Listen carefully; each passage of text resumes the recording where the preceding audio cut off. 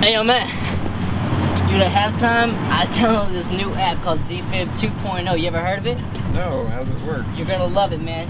It pretty much explains itself. You just put it to your. Is that a Pepsi Max? Sure is. Is it cold? Yes, Can I touch it? I guess. Hey man, can you email me that picture? Pepsi Max. Zero calories, maximum Pepsi taste.